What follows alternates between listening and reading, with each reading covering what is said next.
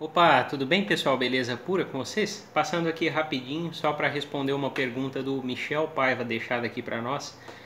Ele diz o seguinte: Olha, sou proprietário de uma piscina da Splash e sinceramente me arrependi. Eita lá, hein?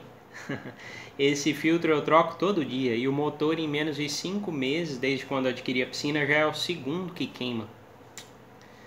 A minha dúvida é: tem como eu converter essa piscina agora para o motor com filtro de areia? Fiz essa pergunta em um vídeo antigo, estou repostando aqui para você visualizar. Valeu, Michel, obrigado. Tem, tem como você fazer a conversão, mas sai caro.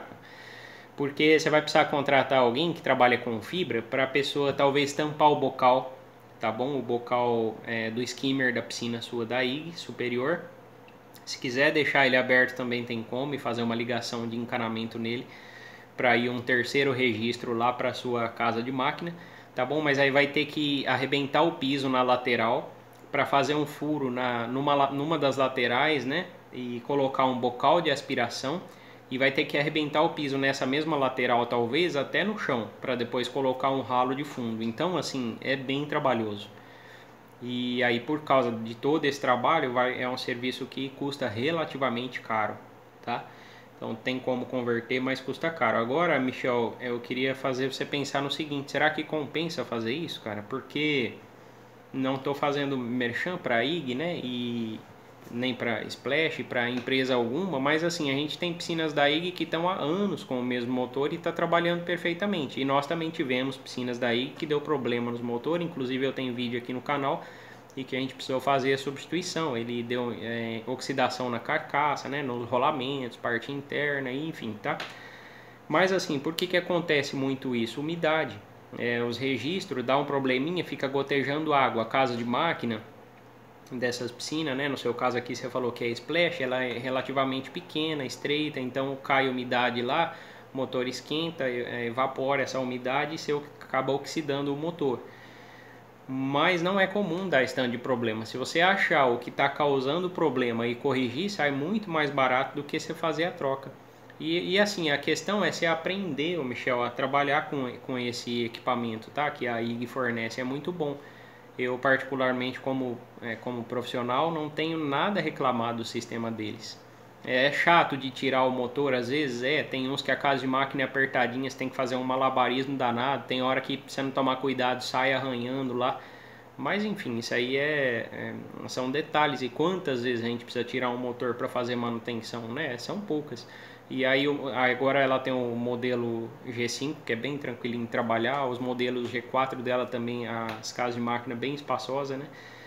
Mas assim, é, minha recomendação é repensa, cara, porque vai ficar caro e sinceramente eu não vejo necessidade de fazer essa substituição. Mas se você quiser, respondendo a sua pergunta, dá para fazer, tá bom, pessoal? É, sobre esse assunto, né, de aprender a trabalhar com os equipamentos, né, a questão de filtro, ele falou aqui que tem que trocar o filtro todo dia, né, muita gente compra dois filtros, aí coloca um novo, tira o outro, leva no tanquinho, lava e depois coloca outro, enfim, eu não faço isso, eu acabo lavando lá na hora com a mangueira, tem gente que lava com a VAP. Mas, pessoal, é, depois que você aprende a trabalhar com o sistema, a gente não tem do que reclamar, porque é um sistema que funciona muito bem, tá? Ele é um pouquinho mais trabalhoso, mas sinceramente o filtro de polietileno, né, de saco, ele retém muita sujeira, é um filtro top, muitas vezes melhor do que os filtros de areia. Ah, só, só tem a questão de dar mais trabalho, tá bom? É, mas depois que aprende, ó, Michel, vou fazer uma recomendação para você de amigo, cara, compra meu curso lá, que você vai aprender, vai sair mais barato do que você fazer isso aí tudo. Brincadeira à parte, tá pessoal? Mas assim, no curso a gente tem um módulo que a gente ensina lá somente sobre é, aspiração, é, equipamentos, manuseios, né, de todos os modelos da piscina, das piscinas da IG, da Splash e aí, aprendendo a trabalhar, você economiza, porque aí você não vai querer fazer essa doideira de fazer a substituição aqui por um filtro de areia. Se for para comprar uma piscina com um filtro de areia, já compra do começo, mas assim, não acho viável fazer a troca agora no meio do caminho. É, o melhor seria corrigir o problema aí, tá bom?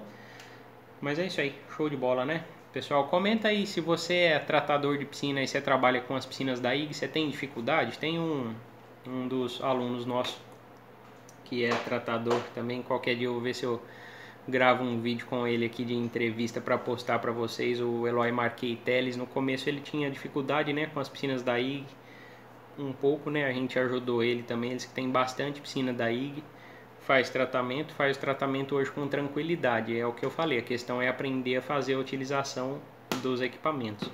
Você é tratador, comenta aqui embaixo, você tem dificuldade com as piscinas da IG, gosta de fazer tratamento deles, prefere filtro de areia?